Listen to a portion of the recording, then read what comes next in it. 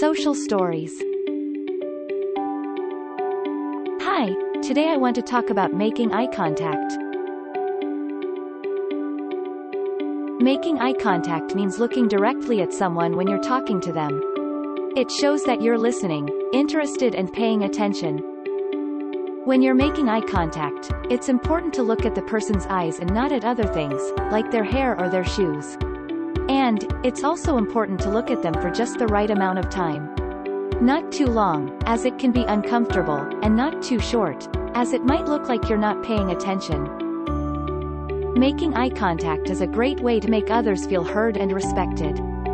So, next time you're talking to someone, remember to look at them, make eye contact, and show that you're listening. Thank you for watching. Don't forget to like and subscribe for more social stories. Until then, take care.